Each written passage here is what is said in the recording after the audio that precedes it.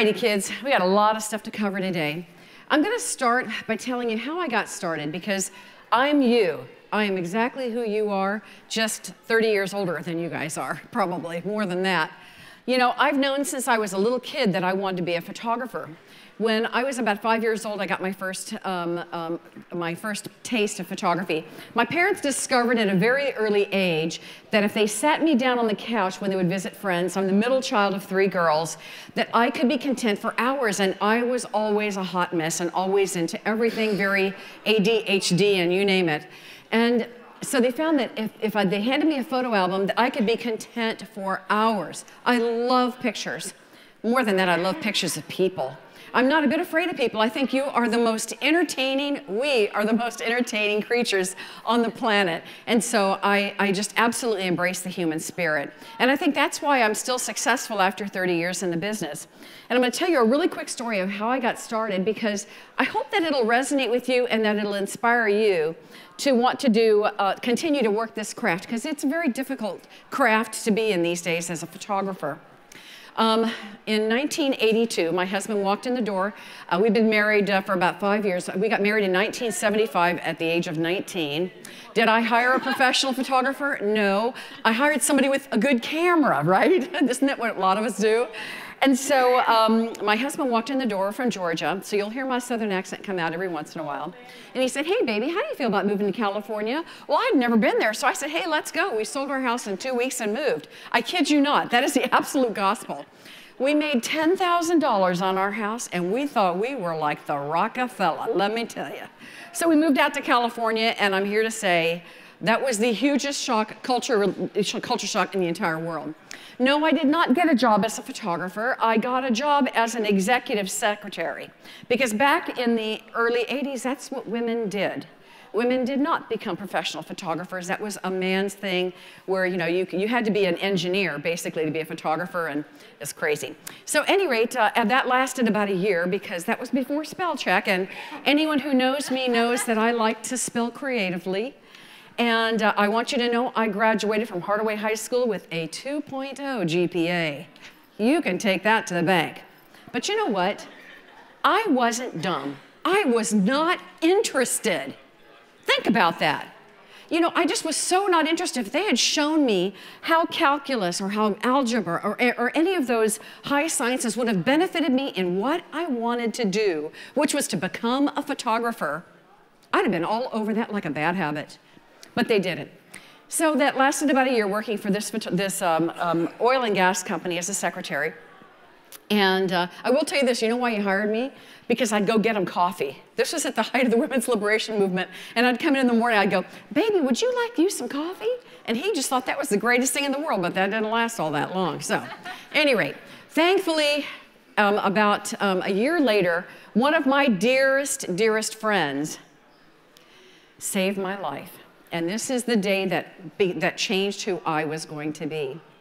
She says, Hey, baby, I work for a photographer and he's looking for somebody to photograph weddings for him. Why don't you come and talk to him? Well, you know, he, she says, You have a good camera. And so I said, Okay, well, I'm going to do it. So I go to Walnut Creek, California. He had an upstairs studio. And as I walked up those stairs, and he had these beautiful pictures on the wall. And as I got to the top of the stairs, I stuck my hand on the doorknob to walk in. And then I took my hand off the doorknob, ran down the stairs, and ran down the block. This is the absolute truth, folks. I was so afraid he would turn me down that I left the building without even trying. Has anyone ever allowed fear to dominate them and to steal your ability to do something? Hey, I am with you, and I get that. Thankfully, at the end of that block, there was a stoplight, and I had to stop. And then my burning desire to be a photographer overwhelmed and over, overtook my fear of failure.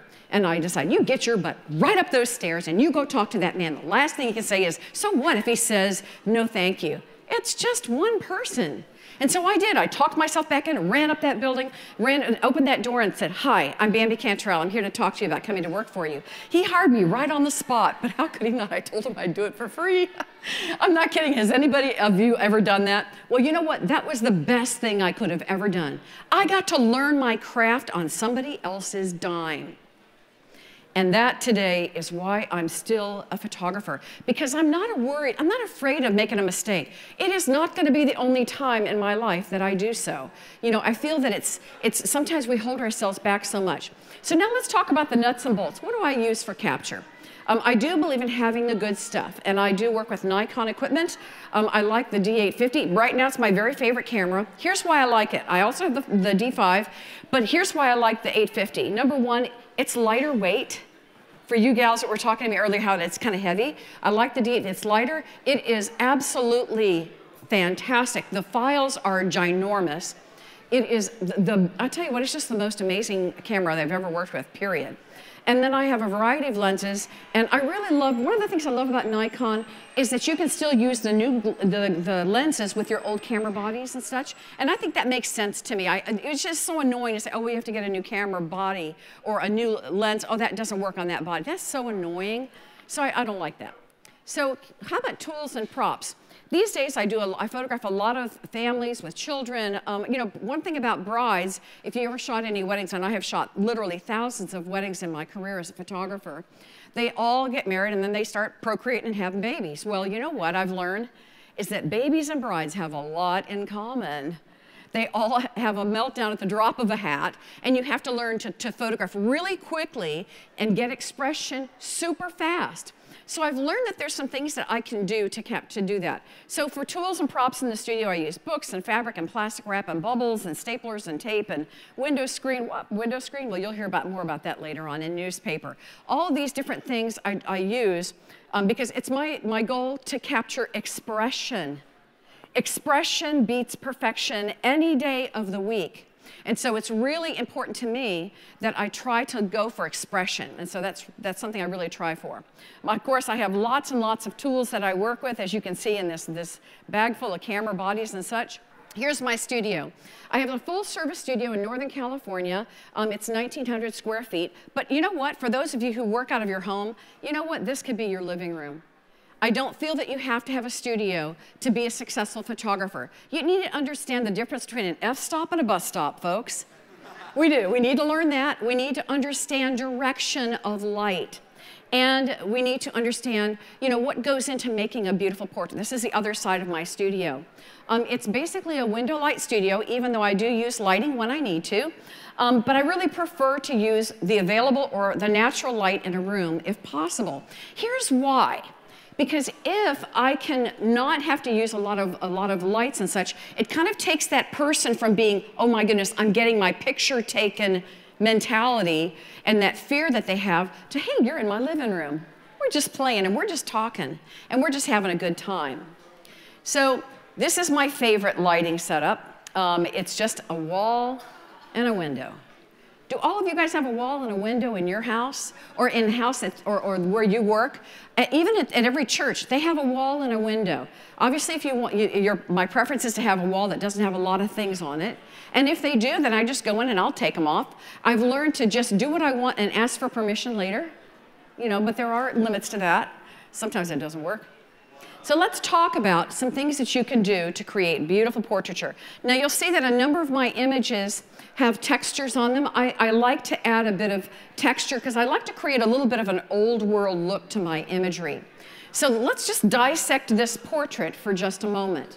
Look at the way that the light, first of all, what direction is the main light coming from?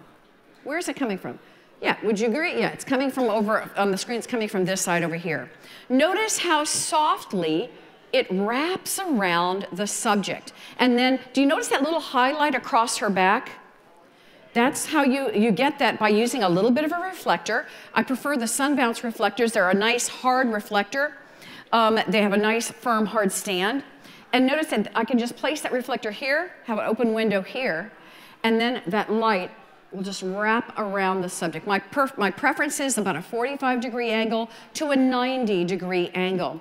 What I'm looking for are highlights and shadows and a little bit more highlight and more shadow. And so you see both of the eyes have a nice illumination. The light is coming from up above and casting in this direction. So you want to start learning to identify where the main light is coming from, whatever kind of light you're using, whether it be a studio, uh, a, a, studio uh, strobe, or whether it be you know a light from a window or whatever. And so this is how I do it. I have a game that I play with myself called Where is the Light? And you don't even have to have a camera in your hand to do this. That means you can be sitting in a restaurant and you can say, okay, well, where is the direction of light coming from? And how do I best use that light to my advantage? Now, in this particular case, the subject is placed in front of the light source, which is a window. This is in my studio. And I want you to notice the way, the, again, the light is crossing her body. Do you notice the highlight on her, on this arm, on the right arm over there? That's bouncing off a white wall. So even with just a single window, if you learn to, to pay attention to where the light is falling and where you can get accent lights, you can do it, you can use just a simple room with one wall, or if you're outside, the sun is right here. I want to place, I want to see what it's bouncing off of in this direction, and then my subject's going to go right here. So in other words, I want to use bounce lighting whenever possible. I mentioned that I use bubbles. I love bubbles because they are really good at keeping a subject in a particular spot. So for instance, and this, this is in my studio, this is just a natural life portrait, and this is of the most difficult subject on the planet, my granddaughter. And I'm here to tell you this child, she will not look in the camera at all. So, one of the things I've learned with small children is that if you want them to be in a specific spot, rather than make them stay somewhere, give them a reason to want to be there. And then draw their attention towards where you want them to look. So, in other words, in this case, this is her dad, my son, said, you know, just blow some bubbles to JD, and that would naturally draw her face towards the light source. So, you basically use a bit of psychology to be able to, to capture what you need. Now, how do you translate this to weddings? Oh, this is so easy. A wall and a window, a wall and a door, any of those things, just remember, draw your subject towards that. So, um, uh, so I really believe that photography is all the same thing. It, you can be photographing, photographing a family or children or anything else, um, and the same concepts apply. So one thing that is important is getting to know you. How do I get to know the subject? Do I photograph each of my subjects the same way? No, I don't. I feel that it's very important to become very um, visual with your subjects. Who are they? You know, what is it, what makes them tick? And rather than ask a bunch of questions, well, what kind of photography would you like? I never use that question. You know why? Because people don't really know what they want quite often, and they'll parrot something that they've heard before. Oh, well, I want all photojournalism at a wedding. And then they'll go, and then you don't take a formal picture of them and their mom, and they don't look really pretty because you didn't pose them at all. And then guess what? Then they're going to complain to you and say, well, you, you didn't take a picture of me and my mom, and blah, blah, blah. And I'm going, hey, did you get kidnapped by aliens or something? What's the deal with that, right? So I've learned to use visual cues. What does the person, what does their clothing say about them? Because what you wear says volumes about who you are. Are they minimalists? Are they the kind of individuals who um, have maybe some body art that are a little bit more on the edgy side? Or are they just this little cute couple that just like are the blue jeans and kind of gap shirt kind of thing? So that tells me a lot about how I'm going to photograph. Now, if you take this photograph, for instance, this is photographed outside um, of my studio. The sunlight is actually behind them, and it's bouncing off a white car that is behind me. So I'm the camera, I'm photographing my subject this way. It's bouncing, and I saw this white car, and I, hey, you know what? Guess what? That big white car is a big what? reflector, bam. And then I'm able to capture an image in the location that I want to. So what if there wasn't a car there? Then I might use my reflector to bounce the light back into my subjects. But learning more about who that subject is, it really helps you to be able to um, to be able to photograph in a way that gets your uh, to get the images that they like. Because the, the bottom line is you can photograph for perfection or you can photograph for expression.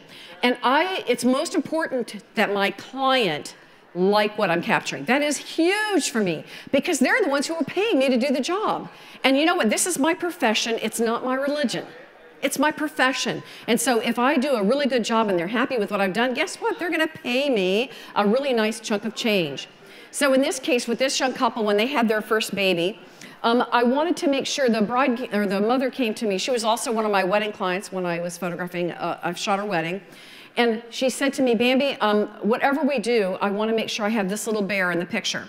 So I went into the baby's room. This was shot on location at their home. A very dark bedroom. It was a little boy, so they painted all the walls that dark gray of restoration hardware kind of gray.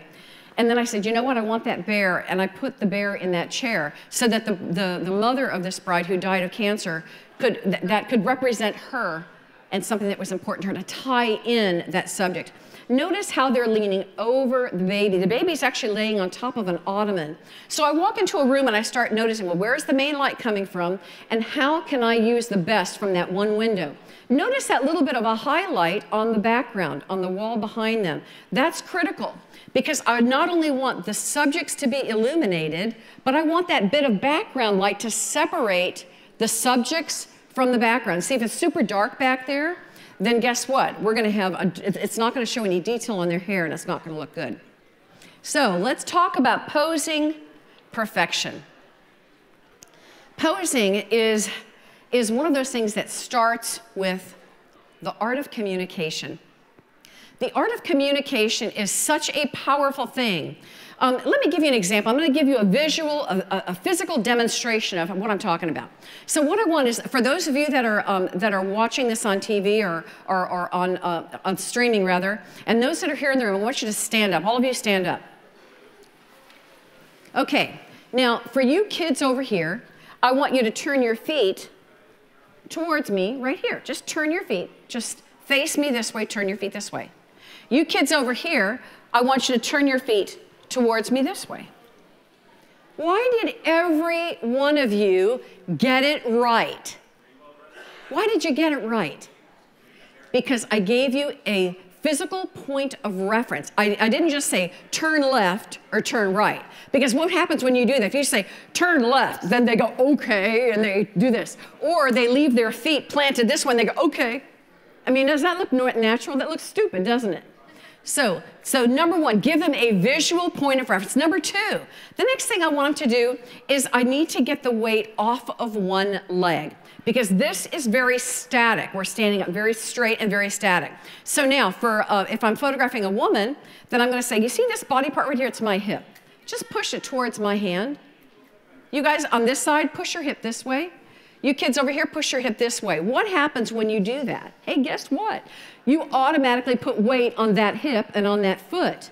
And then this leg right here is just, you've taken the weight off one of those legs. So that's a really easy way to get people to stand better. The next thing we want to do is I want to drop one knee over the other. As in the picture here, you see how she's got that knee bent and then it's dropped over the other leg. Really important. The toe should be pointed forward. Here's why. You see, if I point my toe, my, my toe to the side, you see all the side of my thigh. Not a good thing. I want to see the front of the thigh right here because it's more narrow than the sides are. Are you with me?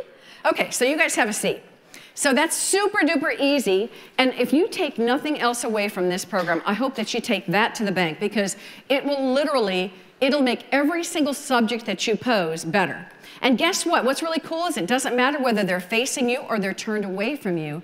That still makes it makes things look really good. The next thing you want to do is get the arms away from the body. And the reason for that is that the arms next to the body add bulk. And you know what? There's not a woman in the world who wants to look fatter and flatter than she is. We want to look our best. We want to look curvy and relaxed and, and elegant. So that's really an important thing. Um, from behind, it does not matter. Notice in this case, you can't really even see the subject super clearly, um, but notice how in this case, I have her rocking forward. She's got her arms away and she is rocking forward slightly. By the way, she's completely clothed. She's wearing a pair of black leggings. You just can't tell from looking at this. And by the way, this is a non manipulated photograph, kids. I did not manipulate this in Photoshop. This is a large piece of opaque plexiglass, and she's standing literally this close to it. In fact, I think her bottom is probably touching the plexiglass.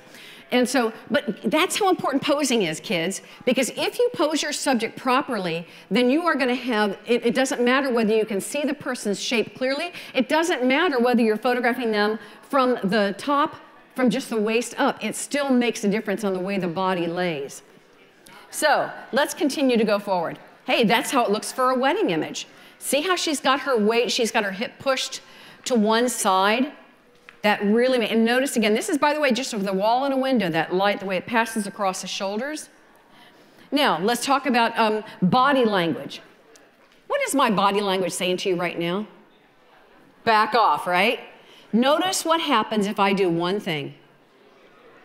Now, what is my body language saying to you? It's saying I'm interested. So the way that you, um, the way if you have somebody lean back with their arms folded, it makes them look more aloof. If you have them slightly lean forward, or in this case, with this groom, I said, hey, with your shoulder, just kind of lean towards the bride a little bit with your shoulder. You see how it makes him look connected to the image. It makes him look connected. Now, this again is just with that single window. She is the main subject, and then he is a supporting subject in this image. In this case, notice how he's kind of leaning back, but his head is hung down slightly. That is a really, those little tiny subtle nuances make a huge difference. That pose I just showed you, notice what happens. You see, when you have two legs side by side, two legs, see how my legs are side by side?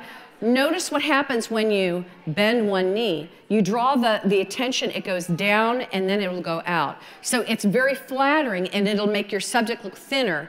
Make sure if you can to kind of turn the hips about 45 degrees from the, from the camera position because notice, I look heavier and bigger straight into the camera, sideways or about a 45 degree, you don't see as much of that person. It's just, it doesn't matter what size your, your, your subject is at all. That little bit of subtle movement like this can make that subject appear like they're moving or they're walking. So if you're photographing in an area and it's maybe you, you don't have, you're not using a high speed uh, and you want to be able to still capture it and make it look like there's movement, just remember, just have them lean, you notice how I can rock forward or backwards on my feet and it'll give that subject the appearance of, of being, of walking. Um, I occasionally like to put things in front of my subject this is again shot with just a, a window, a wall and a window. Um, I had these flowers uh, created for this particular photo shoot. But notice the way that her body is turned slightly from the light source. Her body is turned slightly. Why do I want to do that? Well, because when you turn that body slightly away from the light source, and it doesn't matter what the light source is, it could be a reflector, it could be a, a, a window, it could be a, a, studio strobe, it could be, you know, any kind of lighting, it doesn't matter. Um, you get that light skimming across the body, and then that gives you highlights and shadows and gives a, a, woman beautiful cleavage. So we want to kind of turn her body slightly away from that light source a bit. And guess what? It works just on the guys as well. In this case, he's just sitting, there's a window right over here. I've used a reflector to just give a little bit of a kicker and notice that subtle highlight in the background. So pay attention to what's, where the main light's coming from, and if there's a little subtle light source coming from the back that can illuminate the back. And in this case, this is shot just on a couch. That's where I really like working with those fabulous Nikon lenses. My very favorite lens that I work with is the 105-14, the best piece of glass in the entire industry, in my opinion. Um, when people are walking, you'll notice with this gentleman who's walking his little dog, um, that he's got his legs slightly apart. So what I'm gonna do in this case is I'm gonna basically tell him to throw one of his legs out and then kind of just walk uh, almost with his legs crossed in the front. So when he picks up that back leg, I want that little bit of a light gap because that's really important for keeping, for giving context that he's got two legs and giving some movement. Think about where you're going to capture an image. So in this case, a lot of my work is done on location, even though I have a studio. Um, this was for um, a, um, uh, this, there's a company that designed this, this suit for this young man. And I thought, uh, I went into the hotel where we were going to do the photo shoot. And as I looked out the building, I went, oh my goodness, the, the, the, the buildings behind actually kind of mimic the texture and the, the pattern on his jacket. So in this case, I'm exposing for the subject. So light meter, somebody asked me during the break about a light meter. I use the meter in the camera all the time. That's all I use is the meter in the camera. I do know that sometimes that um, I want to overexpose slightly if I'm working for the skin tone and not the background, because the light meter might think, okay, the overall scene, this should be something, and then it may, it may actually make the subject a little darker. So one of the great things about working with digital cameras these days is you still have four stops of exposure. You can do uh, two over and two under. So, um, but I kind of like to get it right in the camera. Somebody asked me about this too. I do try to get it right in the camera. I'm not one of those photographers who, um, who likes to um, take thousands of, Im of, images. That's real important for me that I don't take thousands of pictures because if the more you take, the more you have to edit or edit out. So I believe if I've got it, why go on? Let's move. So my goal is to get it in one shot, but I may take one or two more just in, so I don't have to do a head swap for a blank. But I'm not a sloppy photographer at all. I know what I'm looking for. I place them where I need to. And once I've gotten that first image, or if I've got what I needed, then it's important to move on because that allows you to get a lot more creative um, with your subjects. Um, if you understand direction of light, you can photograph even in a situation like this, this is uh, my daughter's a ballet recital, uh, her first ballet recital. I was the most obnoxious grandma on the planet. Um, I actually it wasn't. I kept my seat. I, I, sat on the third row. And this is one of the things I love about the, fabulous cameras that I'm working with. I cranked up the ISO a little bit so I could capture in real time um, her first ballet recital. The, the Eiffel Tower that you see was just in the picture. It was just part of the scene. And I intentionally blurred out the two little kids on the left-hand side because I knew I didn't want to have to go hunt down a model release for them. So um, I mentioned to you, sometimes I have books and props in my studio. Um, I like to try a variety of things, especially with children. I, I, believe that with kids, it's real important for them to have fun. If they're not having fun and they hate the experience, we're not gonna, none of us are gonna have any fun. And so it's really important for me that they enjoy the experience. So we play games. We, we have magic tricks that we do during the session. My, um, my uh, studio manager also is very talented with magic tricks. So he stands right off camera and starts playing these magic tricks with the kids to engage them towards the lens of the camera. And that's really important because I want a real expression. I don't want these fake smile for the camera kind of things. That's just the cheesiest thing in the world. So once I've laid my foundation of, okay, where's my main light going to come from, my environment, I need to find a way to get them engaged so that they stay still or they stay in one spot where I need them to be. So in this case with this little girl, we're just playing a couple of little games with her. And then she, of course, lifted her little book up and we were able to get a couple of really wonderful images of her. Um, there are times when, depending on who the subject is, that I, I, want to tell something that's a bit more editorial. It's not about seeing um, every nuance of that particular subject. So in this case, by turning that subject away from the light source, notice what I'm doing. I have her hunched even further over. Where, where was I going with this? My goal was to capture that little bit of a, a, a cheekbone, to get something that was a bit editorial. And this literally can be done absolutely anywhere. It's just got a stool and a window and a wall. Very, very simple. In the case of working with a bride, you have to think about what are the things that are important to a bride? What is she looking to, what, is she wanting from you? Obviously, she wants beautiful images of herself, in her gown is one of the things she'd like. So, in that particular case, it's very important that I flatter her shape. Notice where the main light is coming from in this, in this photograph. And notice that where her head is, there's a little bit of a highlight on that, um, that pillar that's right in the area where her head is to give a bit of separation between her head and the background.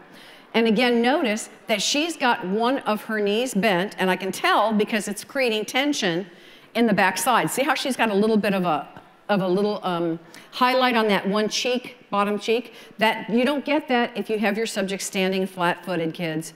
So that little tip that I showed you about bending one knee, dropping the knee over, works great whether they're facing you, whether they're turned sideways, or whether they're turned behind.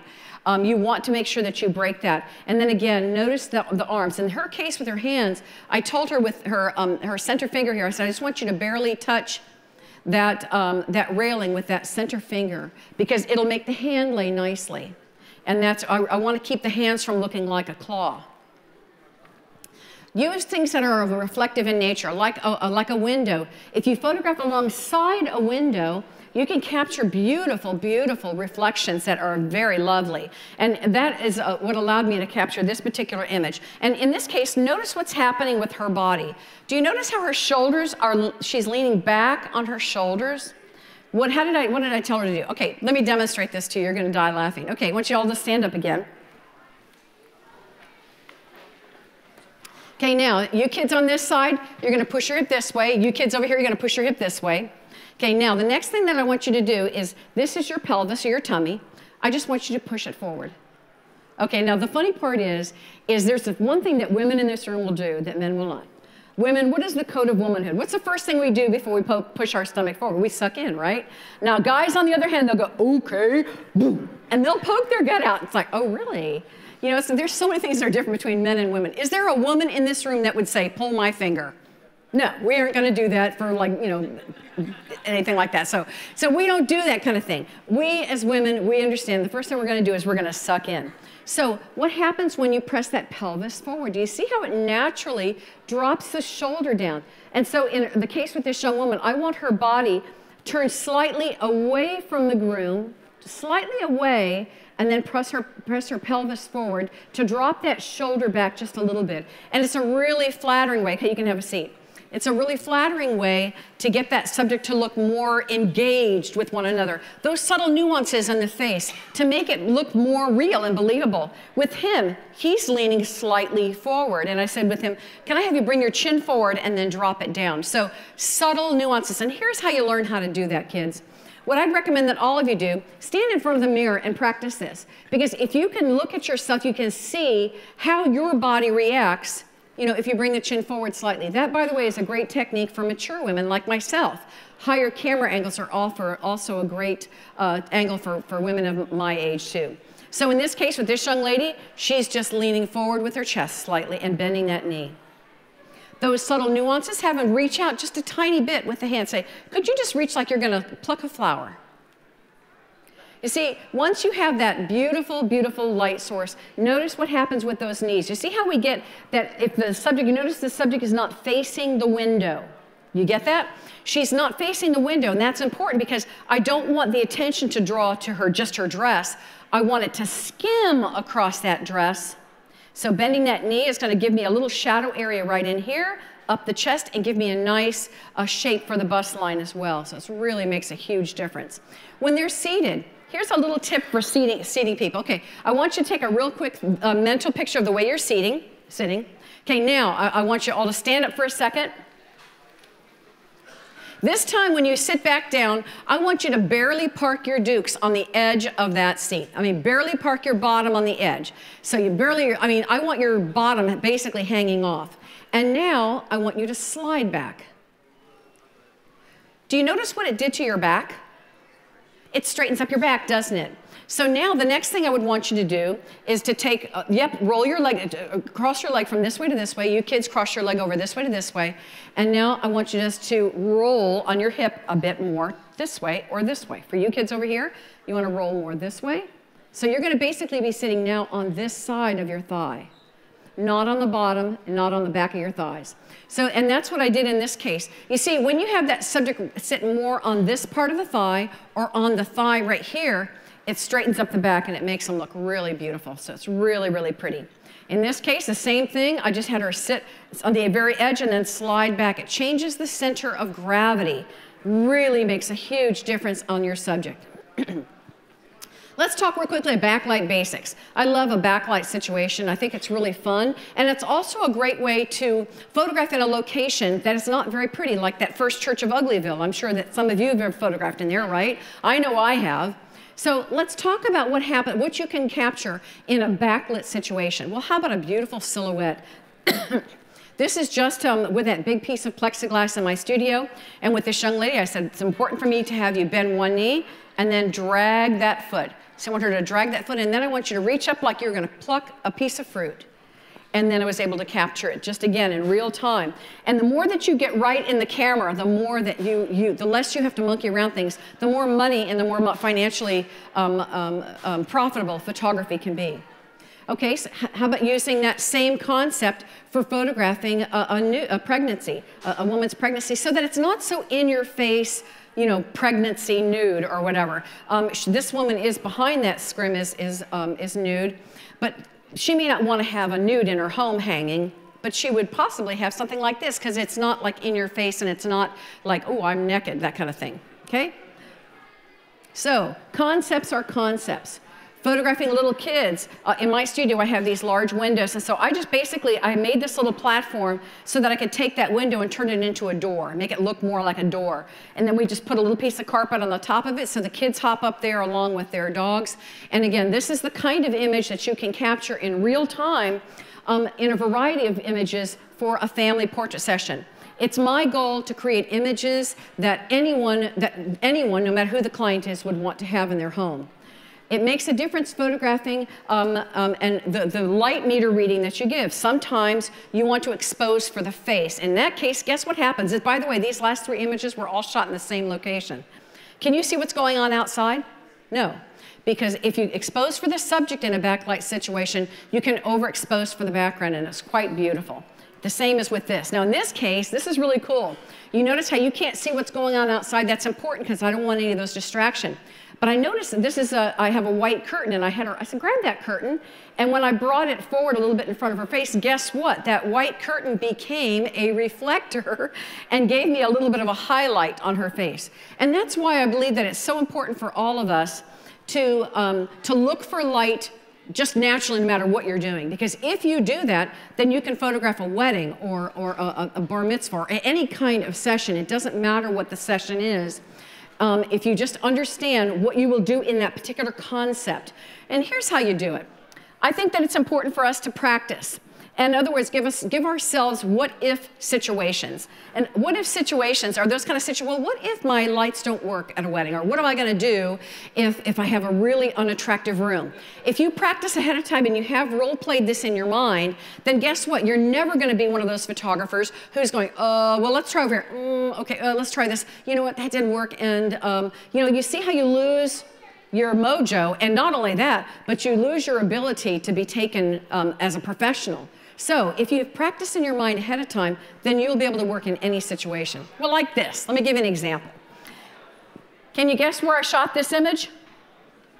All of those uh, white marks on the wall are scratch marks because this is in the hall between the banquet, uh, the banquet uh, kitchen and the uh, restaurant at the Howard Johnson's in some little bitty city. And when they have, when they take the food from the, the kitchen to the banquet room, um, they always bang the wall as they walk through. But I loved the light. Guess what the light is in this case? It's just fluorescent lights. It's just an overhead light. And I, hey, the wall was black. I, hey, that, that works. How much work was it to take from doing that to this? So you see, if you understand that direction of light, you'll notice see that little, that subtle highlight that's on her face, and then play up that with the way that you, in other words, turn the face up. You would not photograph that, this image as a high mom, in other words, looking in the camera kind of thing.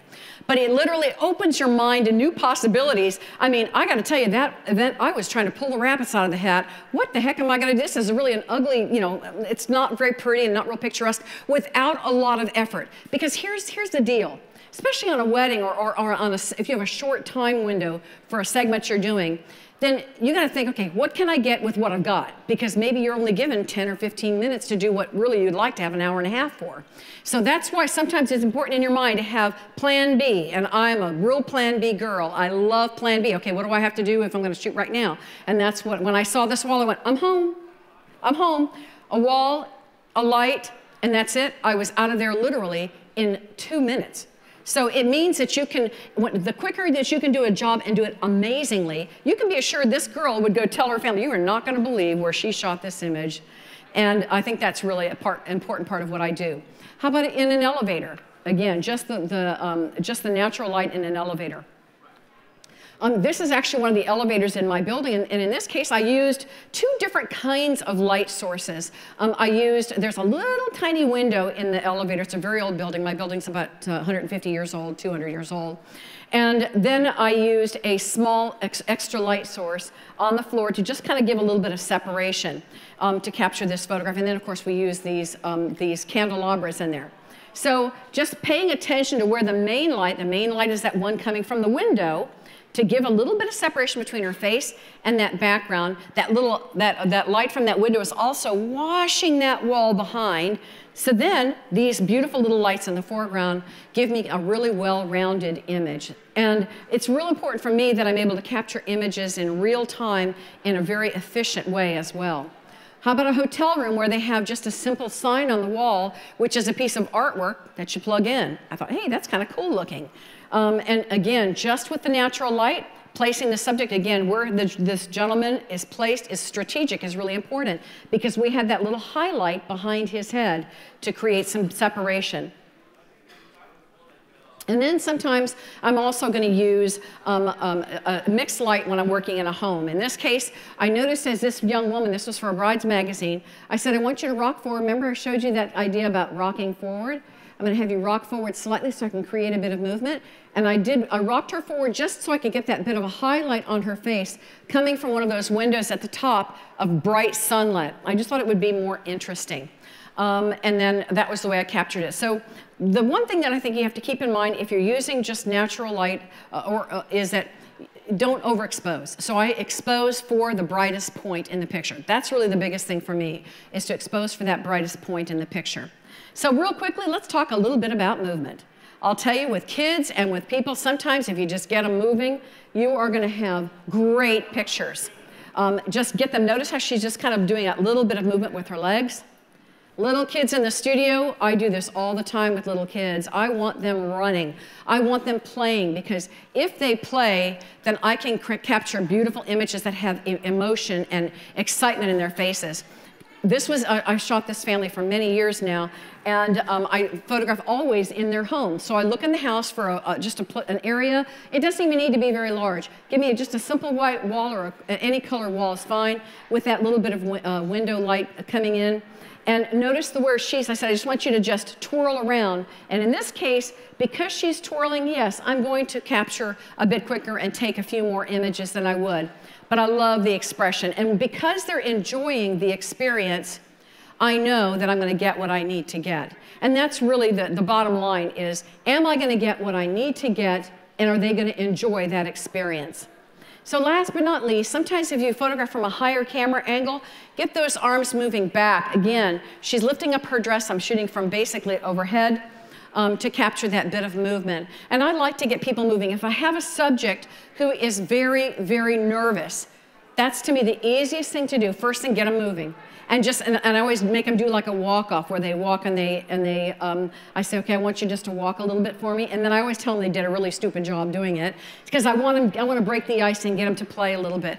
It's it's my my goal to, to, um, to just let them, to have them relax so that they don't think that, you know, that I'm going to try to make, I'm not trying to create images that are um, just for a competition or anything of that nature. I'm, I'm photographing for people, for real people.